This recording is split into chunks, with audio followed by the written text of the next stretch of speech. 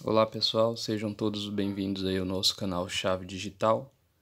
Eu vou aproveitar aqui que chegou aqui uma situação, aí vou mostrar para vocês aí, principalmente para os chaveiros que estão iniciando agora, porque no nosso trabalho é a gente pega cada uma e às vezes o trabalho que nunca fez acaba complicando.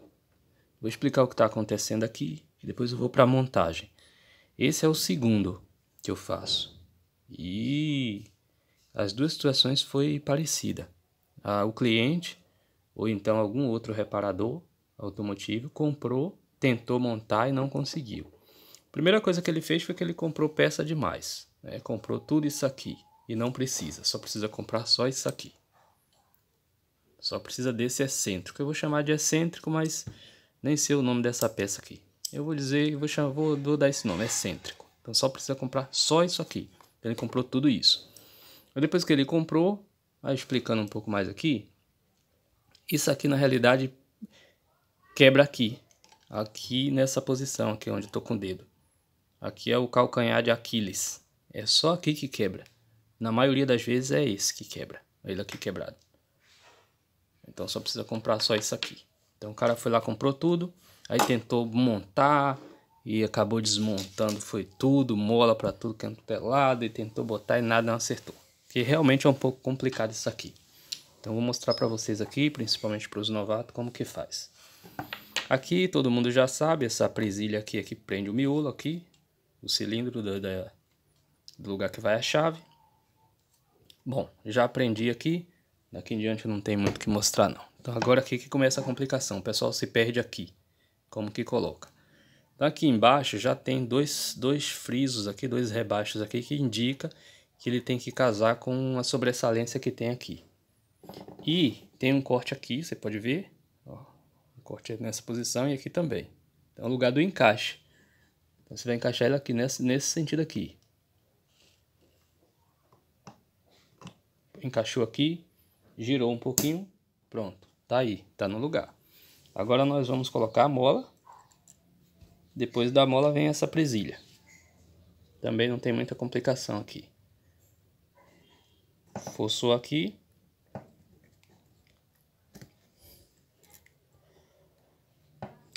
Desse lado. Desculpa aí, o lado estava errado.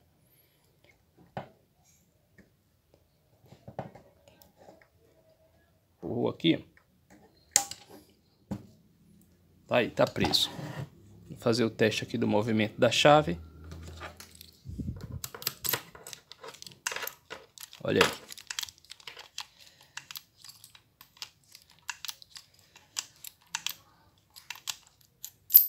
Depois daqui vem agora essa...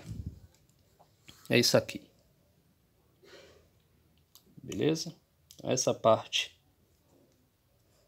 vem aqui e essa pega aqui embaixo. Posição é essa aqui. Eu vou prender logo isso aqui, aqui, não. Aí facilita. Vou prender ele aqui.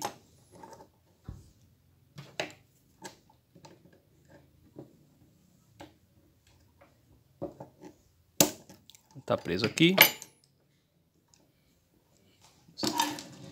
Posição melhor. Agora eu vou pôr, pôr aqui, ó.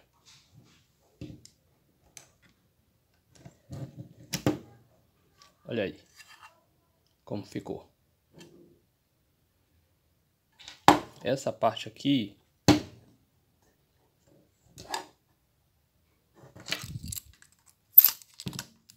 é assim. Olha o movimento aí, ó. Vou afastar um pouco a câmera aqui para ficar melhor para vocês visualizarem. Então, olha, essa parte sai daqui. Então, fechado girar a chave aqui, ó. Aberto, pronto. Não é muito complicado. Logo no início, se você não prestar atenção quando desmonta, dá uma complicação feia. Mas depois que você vê aqui a montagem, principalmente é porque já está quebrado quando você vai retirar. Esse aqui pega lá, lá na, na fechadura. Esse vai lá para a fechadura, aqui é só a maçaneta e, e o miolo da chave. Essa parte aqui vai para lá para a fechadura do carro. Beleza, agora vem essa mola aqui. Ela pega daqui para cá.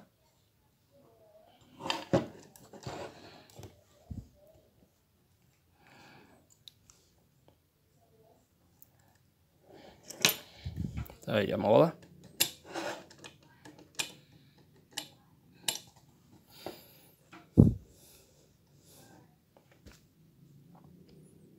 Pronto, tá concluído aqui a montagem. Vou fazer o teste aqui.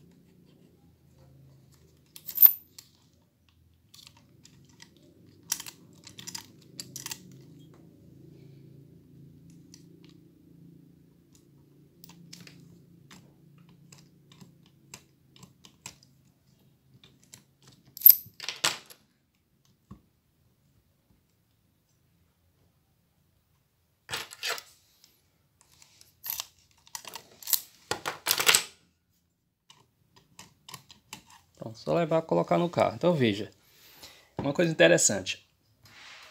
O cliente, ele sempre vai, o cliente ou algum reparador que não é da área, ah, falta só colocar aqui essa essa presilhazinha aqui.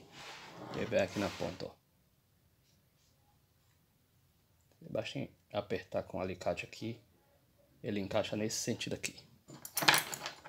Fechar logo para não esquecer.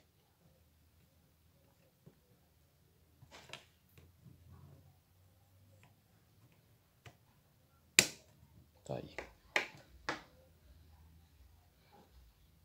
Pronto, concluído. Só devolver para o cliente. Então veja, o cara não conhece. Olha quanta peça ele comprou.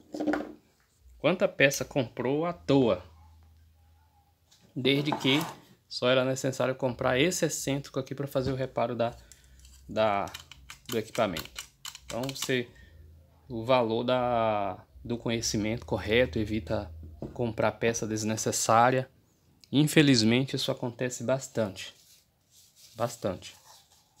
Com área mecânica, reparo automotivo, infelizmente eu posso dizer isso.